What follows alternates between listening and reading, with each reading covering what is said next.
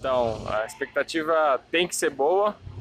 É, Para nós, particularmente, a nossa última prova antes dos Sertões, então aqui onde a gente vai terminar de, de ajustar o carro. A gente veio de uma prova ruim em Natal, então carro todo revisado, todos os problemas sanados, para a gente vir e fazer uma, uma boa prova aqui em Botucatu. Como de costume, a prova tem já é conhecida por ser uma prova muito boa e muito técnica.